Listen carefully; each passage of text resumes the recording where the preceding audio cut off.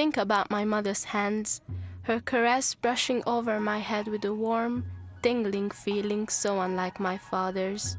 His stout, fleshy fingers hover about until they embrace the steering wheel with perfect composure. I liken their hands to mine.